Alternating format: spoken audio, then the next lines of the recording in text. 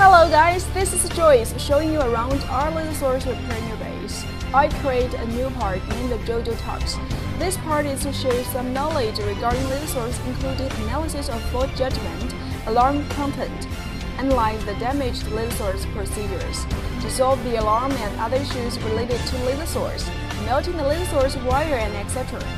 Laser machines maintenance and some software tutorials like EasyCAD, and laser cutting head consumables replacement guides.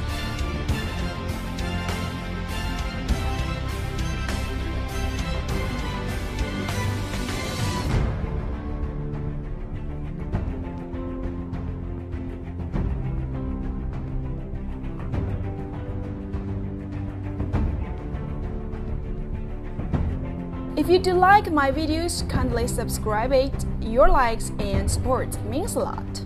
Thank you.